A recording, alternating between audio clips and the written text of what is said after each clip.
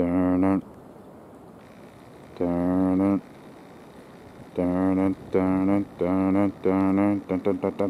dun, dun. Big grass carp. Just trolling around. Tail sticking out of the water, dorsal fin sticking out of the water on the surface. Giant. It's got to be at least four feet long. I know you don't have any uh, reference for size on this video, but uh, I'm gonna stomp my foot and see uh, what what he does.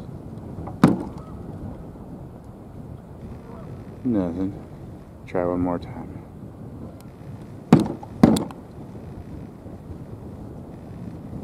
Nope. Oh, there he goes. Where's he going? Down into the depths.